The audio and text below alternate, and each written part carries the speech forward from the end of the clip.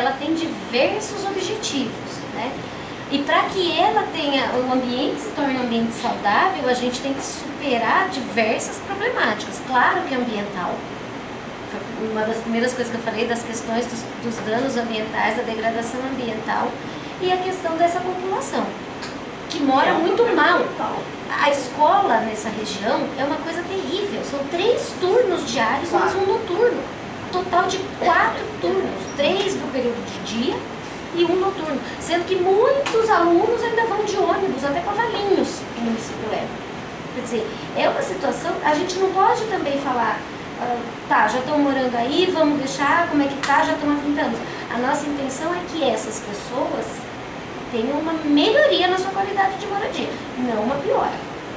Né? Agora, essa é a intenção da operação urbana Claro que a gente tem um monte de coisas para debater, para discutir, como que será, para onde vão, as tipologias habitacionais que a Conceição bem mencionou anteriormente, são questões que a gente precisa discutir com o SEAB, com o Conselho de Habitação e com a própria população, essencialmente. Esse verdinho é, é uma o pessoal sai dali e vai pro verdinho ou é tudo gente nova que vai chegar? Não, não. São áreas somente para é transferência é da população da macrozona 7.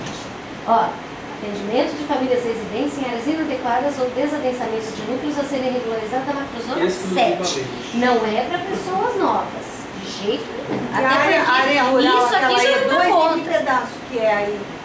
Aqui, ó, esse pedacinho é o E1, que é a área que já hoje está dentro do perímetro urbano. E o E2 são os verdinhos escuros, isso aqui é uma mancha aproximada a ter uh, refinamento, né? Claro, a gente não tem definição. Acho que algo você não está com uma dúvida, que valeria a pena dar uma retomada, hum. porque a ampliação do perímetro, Rosana, para usos voltados para o aeroporto, é até a estrada da Cunha. É esse trecho aqui. Assim, e essa área, ela só entrará nos estudos, pelo menos, como uma área, uma proposta para incorporação urbana, se for viável para as leis de transferência das famílias senão não interessa. Senão não faz sentido, senão não precisa entrar no processo. Ela, já é, tem, ela tem ah, destinação exclusiva dentro da, da proposta. É, já, já, tem 3 milhões e meio de metros quadrados nessa área que é onde os esforços públicos, ah, do nosso ponto de vista, devem se concentrar para viabilizar a implantação de indústria e não ficar abrindo a zona rural indefinidamente para a incorporação. Ah, você não viabiliza a sua, a, a, a sua é, requalificação. Uma coisa é a gente estudar uma ampliação nesse trecho, porque tem urbano aqui, urbano aqui, e uma área vazia aqui. Tem um interesse mesmo. Então há um interesse, ah, inclusive, de, de captação de recursos dessa operação urbana.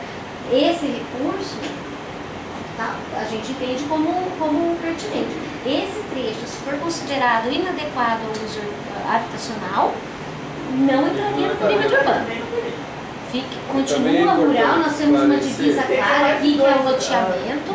Não há por que ficar trazendo áreas rurais para urbano sem um objetivo claro. Eu podia voltar só para o F2 para ela. Não está ainda, está no meio. Já vou chegar, é o próximo. Vocês têm uma, uma perspectiva de quanto vocês vão captar de recurso para esse fundo? Vocês lembram a nossa pré-estimativa? Mas foi uma estimativa assim, muito genérica. É. Foi uma estimativa para ver o grau de viabilidade que a gente podia supor para ir em frente com essa. Agora a gente precisa refinar cálculos e tudo com 800 milhões. Cálculos a serem refinados com finanças, questões jurídicas a serem refinadas com jurídicas questões habitacionais precisam ser refinadas com o SEAB e muitas outras questões com muitas outras secretarias e com outros órgãos de governo estadual e federal. Esse é o estado da arte como ele se encontra hoje. Ele não está pronto, ele não está acabado, ele está aqui para ser uh, criticado e melhorado. Tá? Esse é o setor F1. É importante uma colocação, tanto o setor F como o setor E, e todas as áreas que eventualmente venham a ser inseridas em planos locais, você todas as vezes passou para numerosa.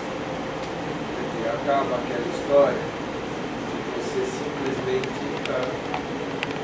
dormir com a área valendo X e acordar com ela valendo 10X. Tá?